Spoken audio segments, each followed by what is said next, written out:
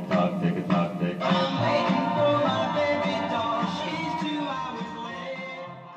Susie's little sister. Well, not no more, she's not. Howdy, Principal Stinkwell. Why, What, you went for punk?